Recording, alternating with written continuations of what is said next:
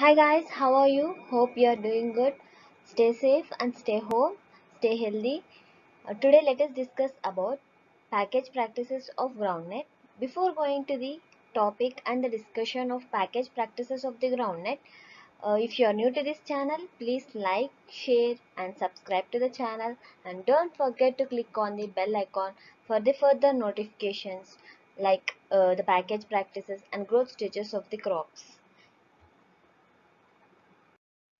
Before discussing about the package practices of the uh, let us see the importance, economic importance and uses like uh, uh. If you observe, groundnut is also known as peanut and in the normal language and it is an important oil, food and feed legume crop grown in overall 100 countries and it is it is also contributing to the nutrition of the farm families through consumption of energies and protein-rich groundnut kernels and provides the nutritious fodder to the livestock.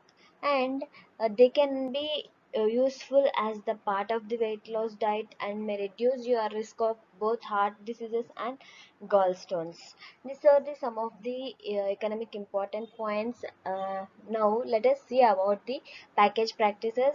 In the package practices let us know about the soil.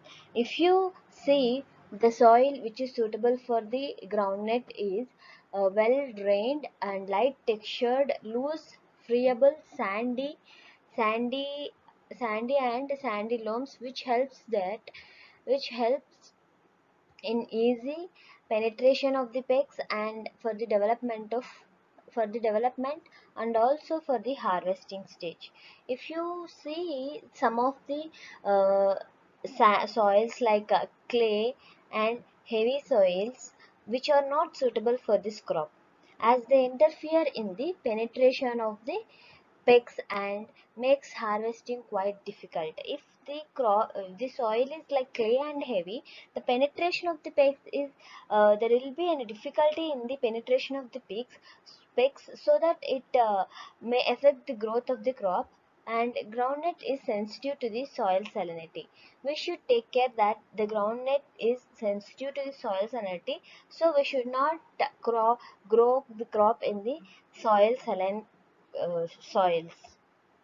Let us see about the uh, pH. What is the pH required for the uh, good yield of the groundnut and what is the uh, minerals required for that groundnut and it shows the pH range of pH range of 6 to 7.5 and with the minerals calcium and moderate amount of organic matter is also essential for the groundnut for the increase in the yield. Let us see about the field preparation field preparation we have some of the points. You can observe that uh, you can observe the field preparation how it has to be done. And although the groundnut is a deep rooted crop as we know it is a deep rooted crop but it uh, it uh, but it is looking to uh, its underground pod forming habit. There are two types like spreading type spreading type of the uh, or also will be uh, here and branching type. Here you can see the field preparation should be with the deep ploughing and uh, should be avoided because it encourages the development of pods in the deeper layers and and uh, in the deeper layers and not the uh, it is uh, difficult for the harvesting of the crop adequate rains at the uh, at the sowing are necessary for the proper germination and the proper increase in the uh, fertility of the soil and the good plant growth and well distribution of rainfall during the crop periods ensures that there will be a good increase in the vegetative growth which is essential for the yield purposes and increased flowering and proper development of pods. If the rainfall is adequate uh, so that it uh, develops the vegetative growth increased flowering rate and also the development of the parts and increase the crop yield. It is necessary for the adequate rains or necessary for the good germination. First, one ploughing with the soil turning plough followed by two harrowings would be uh, sufficient to achieve a good surface tilth. We should maintain the tilth at up to 12 to 18 centimeters of the soil for the field preparation. Seeds and sowing. How the seeds, bowl and field pods should be selected and swelled by using either a hand or power operator just before the sowing and from the shelled seeds small shriveled damaged broken seeds should be removed from the we should uh, separate the broken and damaged seeds from the bold and filled seeds. And only the bold ones should be used for the sowing so that there will be a good growth of the vegetative vegetative purposes and let us see about the seed treatment. What is the seed treatment used for the groundnut for the better improvement? If you see if you observe that seed treatment which is used means the treat uh, treatment of the seeds with the thiram and mancozeb and carbon di- or carbendazim is recommended any of this or recommended. Therefore the seed should be incubated inoculated with the proper strain of the rhizobium culture uh, particularly in those fields where groundnuts is to be grown first time and uh, there should be care taken where the groundnuts are sown in the first time. And uh, seed treatment should be given for that. Groundnut seeds and seeds are treated with the quinalphos at 25 EC at the rate of 25 ml or chlorpyrifos and uh, for the control of white grubs. And to break the seed dormancy of the spreading type varieties give the seed treatment of Ethrel for the spreading type if you want to break the seed dormancy we should treat with the uh, Ethrel and let us see that sometimes the rodents and crows are noticed to take away from the uh, away the seed from the field so that the care, care should be taken that uh, the use of repellents like penetr and kerosene for the seed treatment are recommended to keep the intruders away from the away but the care should be taken to avoid any injury to the kernel. And we'll let us see about the sowing. Sowing the groundnut is uh, uh, uh, can be sown uh, sowing is undertaken with the onset of monsoon and the irrigation facilities are available. Pre-monsoon sowing should be done in the last week of may uh, where the adequate rains are sufficient at the May or, uh, or in the first week of the June with pre-sowing irrigation and which increase the yield of uh, by 46% as we see in the Gujarat and the Punjab and the shifting the sowing dates from the normal time of the first week of the July to the 20 June increases the pod yield of about 19%. Uh, early sowing helps in the best utilization that, uh, for the uh, sowing of the crop. There should be an a particular time that is the first week of the June or the last week of the May. It is the best time uh, for the sowing of the groundnuts. In the Rabi crop, it is sown from uh, September to December depending upon the wicket of the rice fields as we know. The summer crop is sown at the last week of the January. Let us see about the sowing method. What is the sowing method used for the groundnut? Here you can observe that seeds should be sown about the 5 centimeter deep with the help of country seed drill. Uh, and uh, the dibbling of the seed method can also be followed in the groundnut and dibbling of the seeds by keeping 60 centimeters distance in the row to row and 10 centimeters distance in the plant to plant for the spreading type. And uh, 45 into 45 to uh, 10 centimeters in bunch type helps in the saving the seed requirement and also for the increase in the yield as the sufficient space is required. The bed uh, the major major important objective for the any crop or the uh, groundnut is to increase the yield so that the precautions and the package practices should be taken for the increase in the yield uh, by any practices. And this is some of the important package practices where uh, the crops are taken. And the spacing of the groundnut will be like in the spreading varieties like 60 into uh, 10 centimeters and bunch type will be like 45 into 10 centimeters.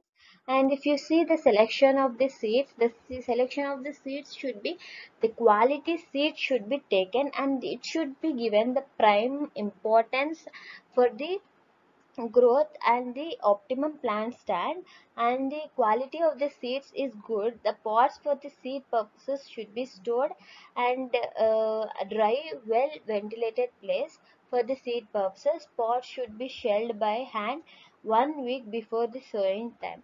Uh, shelling should be done and hand shelling increases little damage to the seeds uh, so that the pots shell long before sowing time. Uh, before the sowing we should shell uh, by hand hand shelling and uh, you can use the bowl seeds for the sowing for the good uh, getting of the good uh, stand of the crop. And if you see the seed rate what is the seed rate recommended for the uh, is uh, seed rate is always depending upon the spacing and type of the seeds as we know.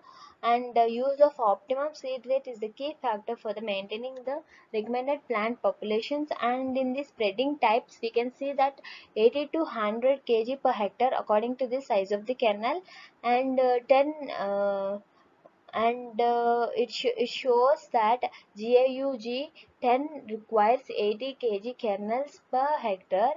Uh, here you can see this requires 100 kg kernels per hectare. And in the bunch type if you notice it is having the more seed rate and 100 to 125 kg per hectare according to the size of the kernels. Uh, if you observe the manures and fertilizers which are required for the groundnut or uh, some of the manures are well well decomposed FYM is used and fertilizers like NPK are also used for the basal applications. And the pod formation and the development of the ground is the great influence by the fertilizer. At this stages the fertilizer application will increase the yield and the lime application causes the better nodulation. If the better nodulation occurs there will be a great uh, increase in the pod formation also. And the minerals like uh, calcium and the calcium is also another important mineral for the groundnut production calcium. And groundnut has the unique characters of absorbing about 75% of the sulfur and calcium through gynophores and developing the pods through their gynophores they develop the they absorb the 75% of the sulfur and also the calcium. And, uh, and they develop the pods and if you see the irrigation uh, groundnut is being a rainy season crop. It does not require any irrigation unless the dry spell period prolongs. And there will be no irrigation available if the if uh, the rains are having if they have dry spells. It is necessary for the uh, if they have the dry spells at the critical stages like uh, flowering peg formation and development stages it is critical for the irrigation the groundnut if we see that weeding and the intercultural operations of the groundnut will be like a critical period of the weed competition will be from 28 to 40 day 42 days after the sowing uh, there should be first weeding should be given at 28 to 42 days after the sowing without disturbing any germination process and the crop should be given uh, absolutely weed free up to 60 days after the sowing uh, by following 2 to 3 intercultural operations which is followed by the hand weeding but care should be taken so that uh, the soil should not disturb and also the germination process should not disturb and uh, not the uh, should not disturb the peg and the pod formation. And uh, hand weeding at 20 45 60 days after the sowing should should be done to the crop and if you see the use of hormones the application of Planofix and vardak at the time of flowering have been found to reduce the excess of vegetative growth and flowering period and which increases the uh, number of effective parts number of effective parts the test weight and the yield. If you observe uh, the most ideal time for hormonal application in the groundnut is uh, 40 to uh, 40 to 80 days after the sowing. Best uh, concentration is 20 if you notice what are the symptoms for the harvesting or like uh, some of the prominent symptoms of maturity or yellowing of the foliage and the spotting of the leaves spotting of the leaves and dropping of the old leaves these are the prominent symptoms where we should do the harvesting of the groundnut the parts is uh, mature when it becomes hard and tough and when there is dark tinge on the inner side of the cells. So harvesting before the maturity lowers the yield due to shrinkage of the seeds when they are dried. So the harvesting stage should be the prominent stage and uh, the care should be taken when we should do exactly at exactly when they mature we should do we should not delay in the harvesting because they can germinate in the soil uh, in the soil and uh, there will be a decrease in the pods and uh, the spreading type more pods remains in the soil due to broken of the roots and which reduce the yield and increase the labor cost. So the care should be taken that uh, the you should not delay in let us see how the drying and the storage of the pods will be happen in the groundnuts. And the pods for the storage must contain 9% for the pods and kernel 8%. This is the constant mo moisture content they should maintain in the pods. And if you uh, if you maintain higher than the 8% in the kernels, it will produce the aflatoxin which causes harmful uh, liver cancer of the body and uh, decreases the health and uh, there will be the yield of uh, yield in the different uh, types like uh, there will be a different yield in different types like spreading type and the bunchy type. For the spreading type there will be 1500 to 2000 kg per hectare and uh, for the bunch type 1000 to 1500 kg per hectare. Uh, the ratio if you observe the ratio of the kernels to the parts it will maintain at 72 70 is to 30 uh, ratio percentage. This is the package practices of the groundnut. If you like this video, please subscribe to my channel and click on the bell icon